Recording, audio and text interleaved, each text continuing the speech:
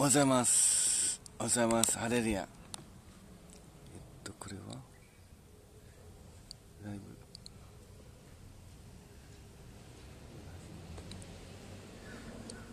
はい。まゆちゃん、おはようございます。もうかさん、おはようございます。えー今日は、えー7月23日、水曜日ですね。水曜日ですね。はい。おはようございます。えーっと、今日はニコ生がメンテなんですね。ゆうゆうさん、おはようございます。えー今日は、えー水曜日です。おはようございます。えーちょっと、公園の様子を見ていただきましょうね。えー今日は、やっぱり曇りですが、えーっと、やや蒸してますね。やや蒸してますが、まあ、そうですね。えー日中は暑くなるかもしれません。節子さん、おはようございます。えー太陽さん、のび太さん、おはようございます。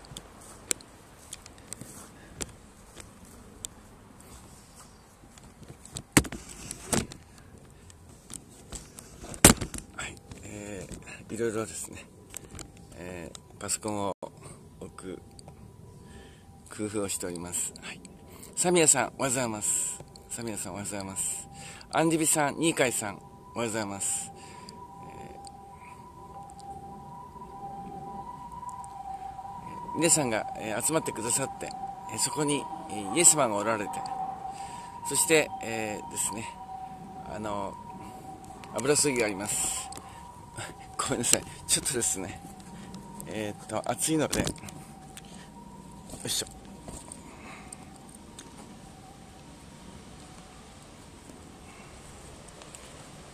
ちょ、っと待ってくださいね。暑いのでですね、えー、扇子を持ち歩いてます。えーこの扇子はですね、えー皆さん、御言葉見えますか？御言葉見えるかな？えーえっと、いつまでも残るのは信仰と希望と愛です。えーいつまでも残るのは信仰と希望と愛。ズニャンさん、ハレルヤ、ボッチさん、皆さん、私たちは、えー永遠に残るもの、信仰と希望と愛、えー信仰と希望と愛で生きています。えこの世のものは廃れます。リブさん、おはようございます。この世のものはなくなります。この世のものは焼き尽くされます。私たちの肉体もなくなります。しかし、永遠に残るものがあるんです。永遠に残る信仰と希望と愛があるんです。ゆうさん、おはようございます。ですから私たちは、目に見えるものに目を留めないで、目に見えない、本当に神の目から価値のあるもの、神の目に価値があるものを求めましょう。そして永遠に残るもの。彦さん、おはようございます。永遠に残るものに目を留めようではないでしょうか。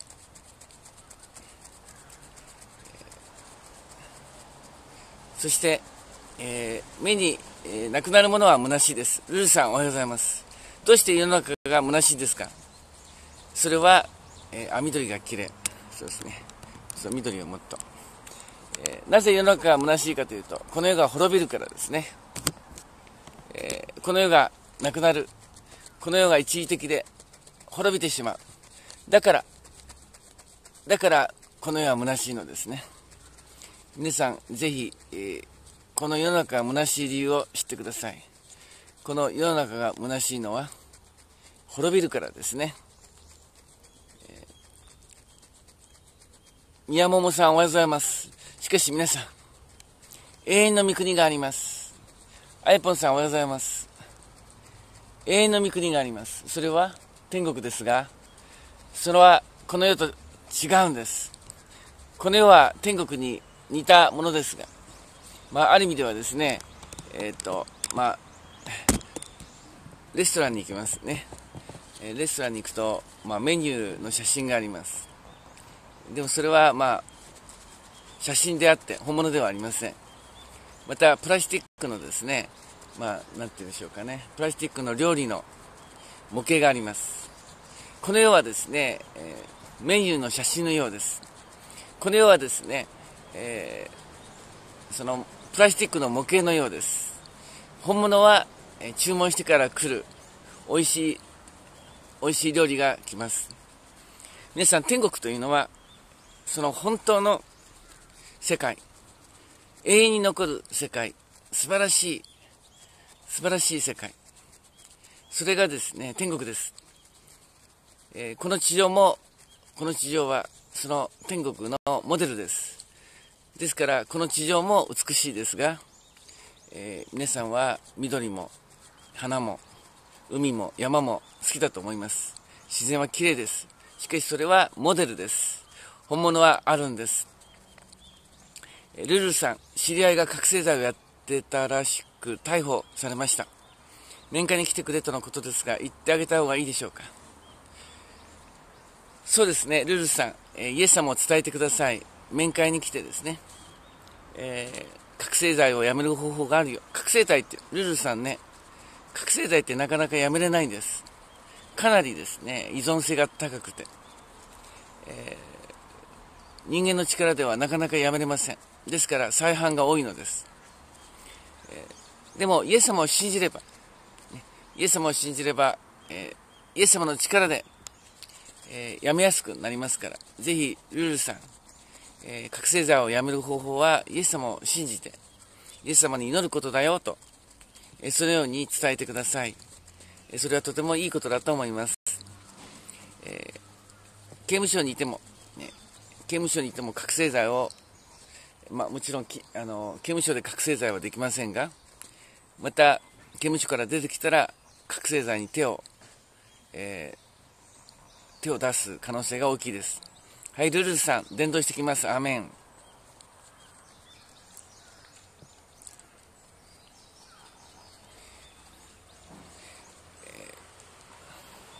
ですから皆さん、えー私たちはこの地上は何なのか、この現実は何なのかを知る必要があります。私たちの住んでいるこの地球、この現実は天国のモデルです。予告です。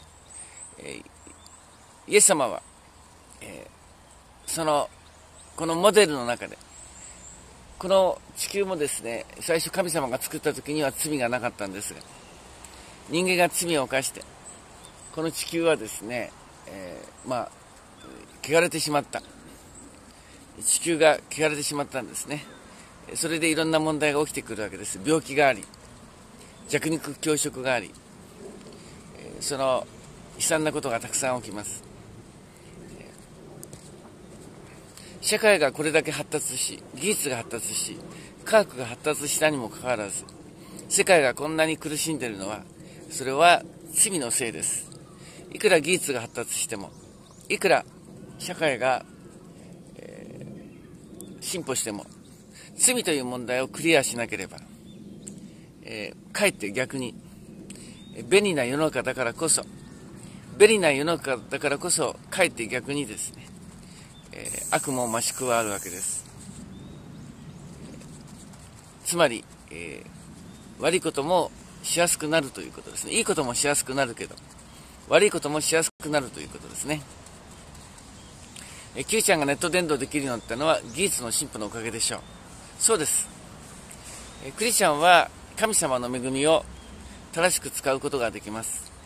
そういう意味で、え、コンピューターやネットをですね、イエス様のために、イエス様のために、え、使うならば、それは大正解です。しかし、お金儲けのためとか、自分のためとか、犯罪のために使うならば、それはとんでもない、えー、乱用、乱用だということですね。えー、ぼっちさん、私もタバコもお酒も不貧困もしない。そうですか。だとすれば、ぼっちさん、イエス様を信じてですね、今度は良いことをしましょう。ね。えー、人はですね、良いことをするために作られた。えー、私たちは、イエス・キリストにある良いこと。人間的に良いことじゃないですよ。イエス・キリストを信じて、イエス様の教えを守る良いことです。えー、イエス様の教えを守る良いことのために、良いことをするために作られたと、エペソー2章に書いてあります。ですから皆さん悪いことをするために作られたんじゃないんです。罪を犯すために人間は作られたんではありません。良いことをするためです。神の栄光を表し、神の愛を表すために、私たちは作られたんです。皆さん作られた目的をはっきりしてください。皆さんは、あ皆さんは神様に作られた目的があるんです。使命があるんですね。使命があるんです。ぜひ皆さん、その使命を理解して実行しようと思ってください。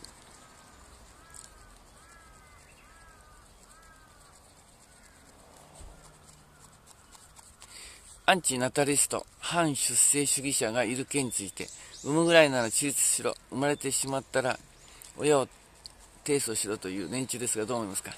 まさにそれは、えー、悪魔、悪魔的な悪魔の考え方ですね。悪魔はアンチナタリスト。悪魔はアンチナタリストですね。反出生主義者です。リュビさん、えー、ゲームする前にね、えー、ゲームよりももっと意味のある時間を使いましょう。ね。え、ゲームをしても何の、えー、神様にとって何の益がありません。えゲームをしたら時間の、時間が無駄です。ね。何もすることがないからゲームをするのかもしれません。しかし、そこには、その神様のために、えプラスにならないと思いますね。私たちは自分のために生きてるのではない。自分の快楽のためではない。私たちは素晴らしい使命があるんです。リュビさん、その使命を知ってください。本当の人間の使命。本当の人間の使命。えー、私たちは、えー、さっきも言ったように、えー、いつまでも残るのは信仰と希望と愛ですね。いつま、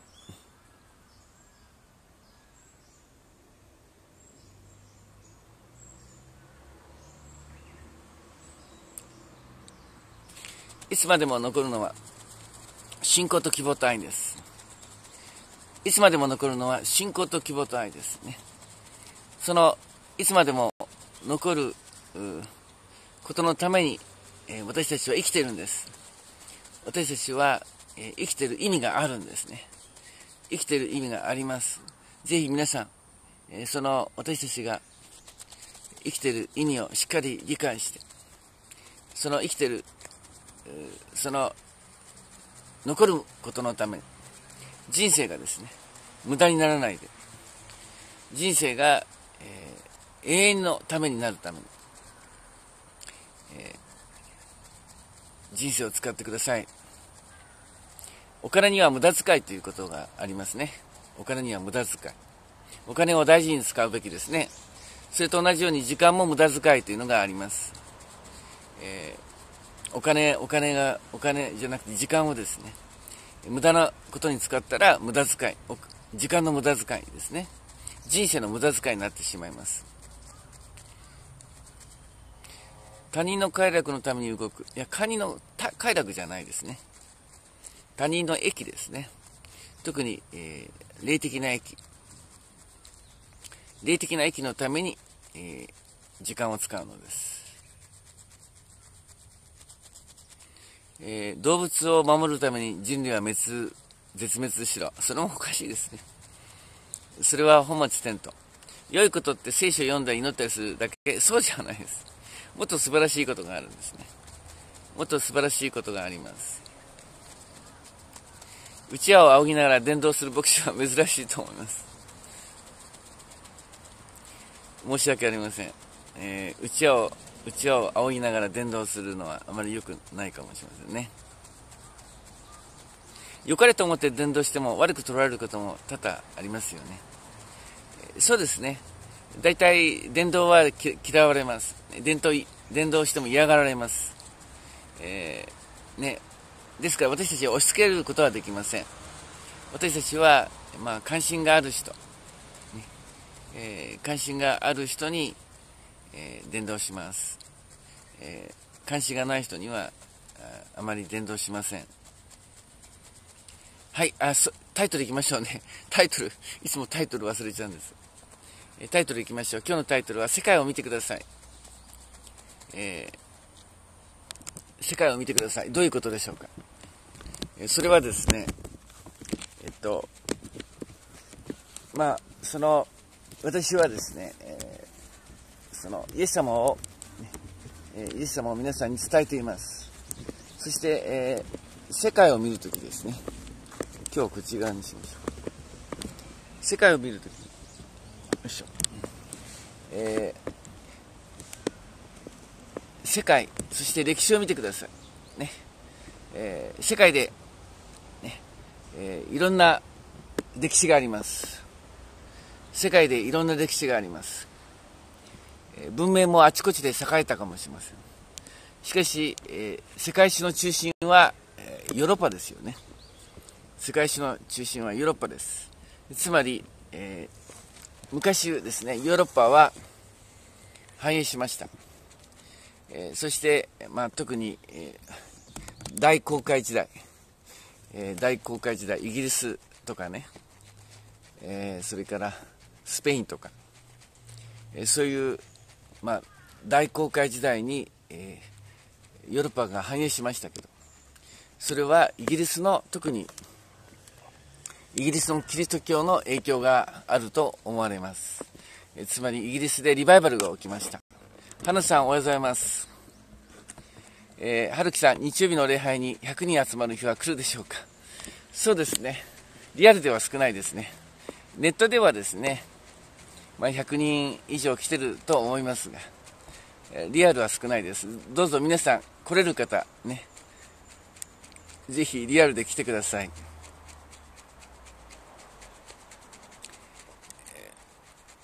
それでですね、えっと、その次に、イギリスの次にですね、まあ、世界的に繁栄した国といえばアメリカではないかと思います。アメリカはクリスチャンが作った国と言われています。イギリスの、まあ、教会がですね、正教徒迫害し、その、イギリスの正教徒がですね、えー、迫害のないとこに行ってクリスチャの国を作ろうということでアメリカに移民しました。つまりアメリカというのはクリスチャンがイギリスの、えー、イギリスの教会から教会の迫害を逃れてもっと自由に、えー、自由に信仰を持ちたいということでそれでですね、えー、作った国がアメリカですつまりアメリカというのはですね、クリスチャンの国とも言えるでしょう。えー、そして、アメリカが、えー、栄えました。今ですね、アメリカのキリスト教はちょっと落ち目で、えー、アメリカの繁栄が少し衰えています。でも、えー、まあ、大昔はローマ帝国が繁栄したかもしれませんが、その後ですね、えヨーロッパが繁栄し、アメリカが繁栄してます。えつまり、歴史を見ると、歴史を見ると、えその、イエス・キリストを信じる信仰に神の祝福が来るということを見ることができます。今の現代も同じです。現代もですね、世界を見ると、イエス・キリストを信じる国、イエス・キリストを信じる町、イエス・キリストを信じる地域が祝福されています。えー、ぜひ皆さん、世界を見てください。世界を見てください。ね、共産主義が繁栄してますか？イスラム教が繁栄してますか？ヒンズー教が繁栄してますか？無神論が繁栄してますか？いいえ、いいえ、いいえ。今、世界を見て、神様が働いてるところが繁栄します。神様が働いてるところが繁栄します。私たちはそれを見ます。そしてもう一つの終わりの時代の特徴は、イスラエルはまだイエス様を信じてませんが、しかし、イエス様を信じる予定ですが、イスラエルは、え神が選んだ国、神が選んだ国と言われています。えイスラエルは神の国を表しています。え小さい国ですが、小さい国ですが、今、ここ2、3年、ものすごく繁栄しています。えイスラエルはものすごく繁栄しています。そしてイスラエルの周り、シリア、イラク、イラン、トルコ、えー、エジプト、えー、レバノンはあの非常に、えー、荒廃してますね。荒廃してます。イスラエルの周りの国々は荒廃しています。その荒廃している世界の中で、イスラエルだけが繁栄してます。これは神様が生きておられて、神様の繁栄、神様の力があるところに繁栄する。神、神の祝福のあるところが繁栄するということを、え表しているんです。ですからぜひ皆さん、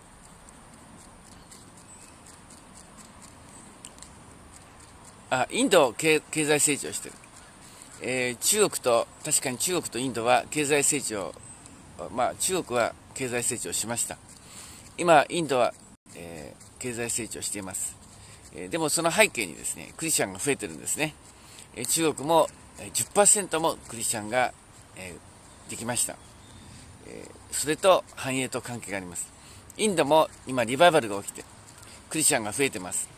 特にインドのですね、カースト制の、カースト制度がありまして、一番下のですね、アンタッチャブル、不可食先民という階層の人たちが、えーえー、ヒンズー教では、えー、もうダメだと。ヒンズー教だと子孫代々アンタッチャブルにであると。だとすれば、そういう階層のない、カースト性のないキリスト教になろうということで、その不可食先民、アンタッチャブルの人たちが、えー、クリスチャンになってるという、そういうリバイバルです。神様はそのように虐げられた人たちを救っているんです。その結果、インドではリバイバルが起きて、クリスチャンが増えて、そして経済成長が、えー、著しいのです。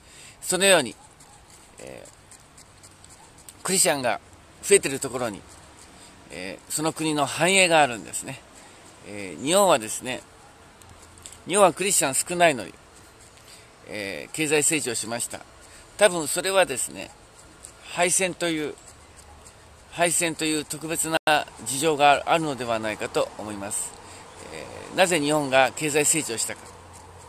それは、えー、アメリカに敗戦し、アメリカの支配を受けたという、つまりアメリカの祝福を受けたからではないかと思います。えー、戦後ですね、多くの教会、アメリカの教会、アメリカのクリスチャンが日本のために祈ってくれたんですね。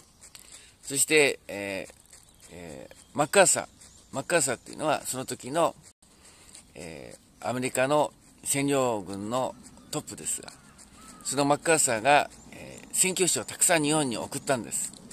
えアメリカから、アメリカから宣教師をたくさん日本に送って、日本にたくさんの教会ができました。その結果、日本は経済成長したんだと思います。えちゃんと理由があるんですね。理由があるんです。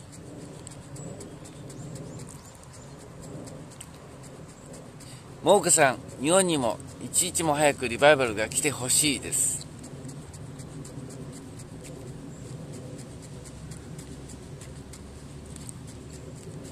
はい。まあ、そういうわけで、皆さん、えー、世界の歴史、また世界を見てですね、えー、本当に、えー、その、え世界を見ると、神様が働くところに繁栄がある。神様が働くところに、えその、成長がある。それをぜひ見てほしいんです。ですから、日本がイエス様を信じるならば、日本は素晴らしく繁栄する。素晴らしく成長するということを知ってほしいのです。個人、個人もそうですよ。個人もですね、えイエス様を信じると、えいろんなことが良くなります。経済も良くなります。人間関係も良くなります。え、しかしそれは、え、その、え、経済だけではなく、あらゆる面で、あらゆる面で、え良くなります。ですから、ぜひ皆さん、え皆さんの証がまさにそういうことです。え皆さんの証は個人的に、え神が働くと、えどうなるか。神様が働くとどんなに良いことが起きるか。それが、えー、それが、証です。証。サミヤさん、イスラエルの直近の国は、レバノン、シリア、ヨルダン、サウジアラビア、エジプトです。えー、そうですね。サウジアラビアはですね、今、イスラエルと提携し始めました。イスラム教の国がイスラエルと提携するということは、もうこれは前代未聞なんです。この、えー、サウジアラビアはイスラエルの味方になって、えー、反映するのではないかなと思われます。えー、アメリカも今ですね、トランプ大統領がイスラエルを推しています。イスラエルをサポートしています。えアメリカはこれからも反映すると思います。ね。イスラエルを祝福する者は祝福される。ですから皆さん、イスラエルのために祈ってほしいのは、イスラエルを祝福してほしいのは、そのことによって、えー、日本が祝福されるためなんですね。えー、イエス・キリストを信じるというのはそういうことです。イエス・キリストを信じるというのは、えー、そのイスラエルの神を信じるということで、それは、えイスラエルを祝福するということでもあるし、え神様に祝福されるということでもあるんですね。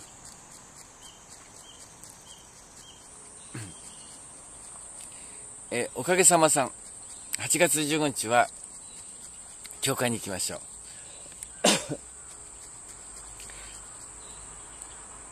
ジュデジュデロンさん、日本は韓国の慰安婦や徴用工に謝罪すべきでしょうか？もちろんです。もちろんです。え悪いことしたらば、当然謝るべきです。悪いことして謝らないということは、神の前に正しくありません。悪いことしたら謝るべきですね。当然です。もうかさん、イスラエル祝福します。まゆちゃん、えー、あよさんを許しましたか？許しました。あよさんを許しました。それでは、えー、明石タイム行きましょう。イエス様を信じて、えー、イエス・キリストを信じる個人、イエス・キリストを信じる国は、繁栄するということが分かった証。聖霊様が働くところに繁栄があるということが分かった。聖霊様が働くところ、イエス様が働くところに、個人でも国でも繁栄があるということが分かった。証、スタート、スタート。スタート。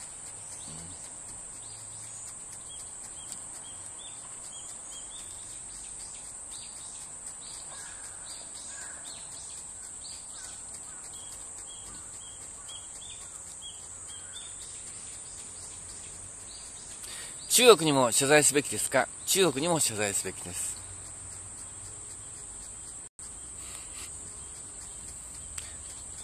春樹さん、強制連行はあるとえー、歴史、歴史学会が、多くの歴史学会は強制連行があると発表しています。証拠があるんですね、証拠が。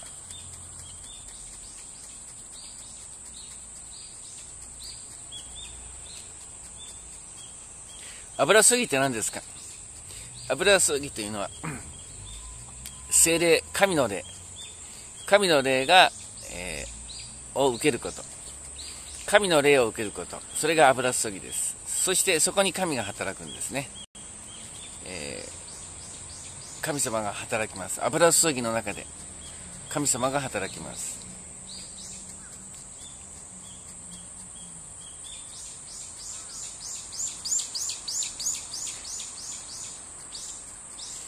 モークさん、イエス様を熱く信仰する国は繁栄、発展することが分かりました。イエス様に従い、イエス様の栄光を表す使命を果たしたいです。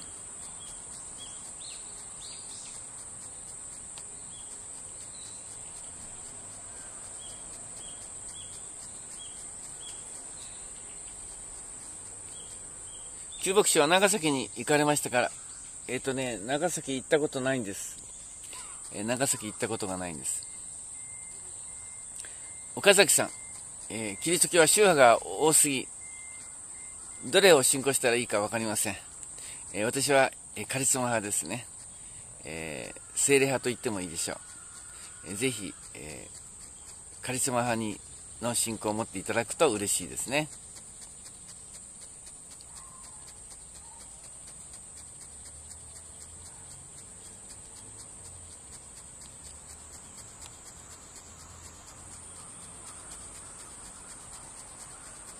はい、それではファイナルメッセージいきましょう。ファイナルメッセージですね。ファイナルメッセージ。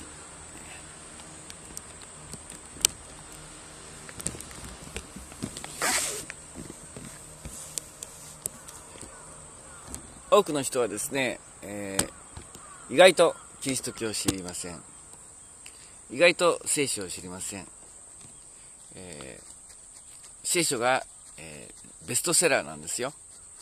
えー、聖書が一番、えー印刷された本であり、聖書が一番翻訳された本であり、聖書が一番出版されている本なんです。え聖書は、え世界でいつもベストセラーなんです。しかし多くの人は聖書を読んだことがありません。確かにとっつきにくいし、よくわかんないし、え読みにくいかもしれません。読んでもよくわかんないかもしれません。まあ、この放送を見てですね、えー、関心を持ったら聖書を読んでほしいと思いますが、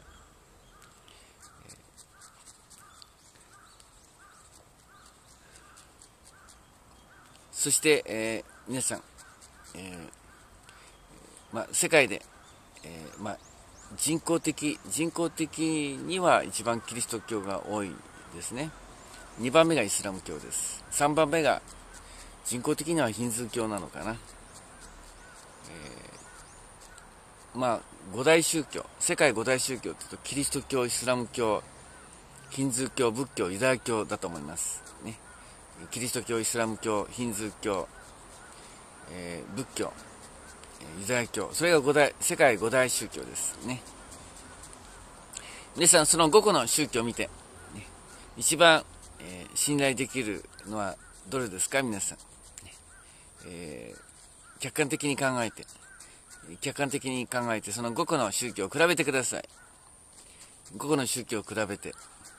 私たちは仏教のことはよく知ってますよね。えー、どれが一番正しいと思いますか？どれが一番信頼できると思いますか？春樹さん、日本でキリスト教を受けられないのはなぜだと思いますか？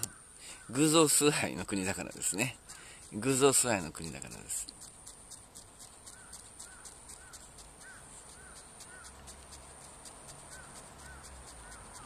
確かにキリスト教もいろんな宗派に分かれてます。ですから、どの宗派が正しいかというのは当然、えー、皆さんは分からないと思います。でも、この放送を見てるということは、偶然ではなくて、この放送を見てるということは、神様が皆さんを、えー、そのイエス様についてその、えー、教えたいから、え、この放送を見てるのであって偶然ではありませんだから今皆さんが、えこの放送を見てるということはとてもそれは、え神の恵みなんです神の導きですですからぜひ皆さん、えここで学んでくださいねここで、ま、学んでください。そうすれば、えー、だんだんだんだん分かってきます。そしてここで信じた方もたくさんいますね。信じた方がたくさんいます。そして証をしています。証があるんですね。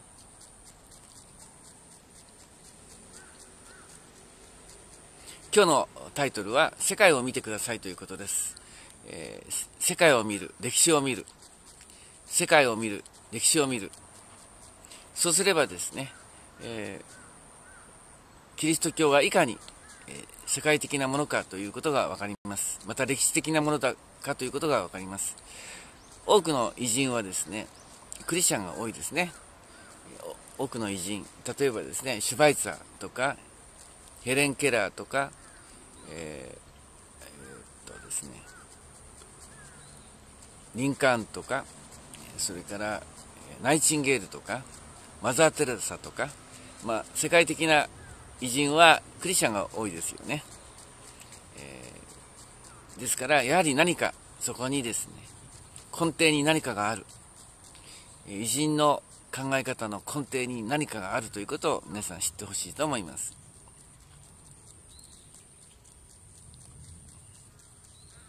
はい、それではですね、今日の放送を見て、えー、何かを感じた。確かに。世界を見たら、世界を見たら何かやっぱりキリスト教に何か一番、キリスト教、イスラム教、ヒンズー教、仏教、ユダヤ教、無神論、共産主義、えー、の中で一番信頼ができるのは、やはりキリスト教かな。えー、世界の歴史を見ても、地理を見ても、あらゆる文化、えー、皆さん、政治、経済、文学、芸術、音楽、絵画、すべてですね、キリスト教の影響が大きいですよ、皆さん。ね、えキリスト教なくして、えー、現代文学、えー、現代の文化、あらゆる文化は、えー、そのキリスト教の、え文化が多いのです。今日の放送を見て、あ確かに、え世界はキリスト教によって繁栄してきた。えキリスト教によって繁栄してきた。確かに、えキリスト教以上の教えは確かにない。えイスラム教も、ヒンズー教も、仏教も、ユダヤ教も、共産主義も、無神論も、確かにキリスト教以上ではない。自分の考えも、自分の考えもキリスト教を超えていない。えー、イエス・キリストの教えが、えー、一番、えー、信頼できる。影響を受けてきた。人類に影響を与えた。イエス・キリストの教え、イエス・キリストの考えが確かに世界をリードしてきた。世界を祝福してきたことを認める。えー、イエス様を信じて、イエス様を信じて、そのイエス・キリストの教えを学びたい。イエス・キリストを信じて、その神様の祝福を受けたい方、アメンと言って、えー、ください。岡崎さんもちろんですよ。お父さんがあそういう会員でも、えー、カリスマにもちろんなれます。個人個人の問題です。個人の問題ですね。アメン、アメン、アメン、アメン、アメン。天のお父様、感謝します。えー世界の歴史、日本の歴史、えー、あなたが、えー、人々を愛し、人々を救おうとしてきた歴史です。歴史はヒズストーリー。イエス様の物語です。どうぞ今、アーメンといった方々が、世界的に歴史的に一番信頼できる考え方、一番信頼できる考え方を認めて、イエス様の教えを学ぼう。イエス様の教えを学ぼうと決心することができますように。そしてイエス様の弟子になって、イエス様の弟子になって、えー、悪いことをするのではなく、罪を犯すのではなく、イエス・キリストにあって良いこと、イエス・キリストにあって正しいことをしようとする決心がついて、えー、正しいことをする人生、永遠に残る信仰と希望と愛、信仰と希望と愛のために生きる人生となりますように、彼らを導いてください。救ってください。祝福してください。祝福してください。彼らを祝福してください。神の力を感じますように。油すぎを与えてください。神の力を感じますよ。愛、喜び、平安。愛、喜び、平安。神の力を感じますよ。神の力を感じますよ。神様の祝福を感じますように。イエス様の皆によってお祈りします。アーメン。アーメン。大きな声で、アーメン。アーメン。アーメン。えー、皆さんの中で油水を感じている人もいるでしょう。体が熱くなってる人。また体がですね、なんか解放されて、なんかこう、えー、軽くなった、えー、心が軽くなった方もたくさんいると思います。ぜひ皆さん、求めましょう。イエス様を求めましょう。油水ぎを求めましょう。良いことを求めましょう。そして、ネガティブにならないで、ポジティブに歩みましょう。イエス・キリストにあってポジティブ。そして、良い行い、善を行いなさいと書いてあります。えー、今日も、イエス様が喜ぶ、えー、善を行いましょう。えー、人の益を図り、隣人を自分のように愛しましょう。隣人を自分のように愛しましょう。神様に感謝し、神様に向かって喜びましょう。イエス様に向かって喜びましょう。それではまた夜9時に、いいんじゃなかった。7時に、7時にお会いしましょう。シャローム。シャローム。良い一日を。良い一日を。シャローム。シャローム。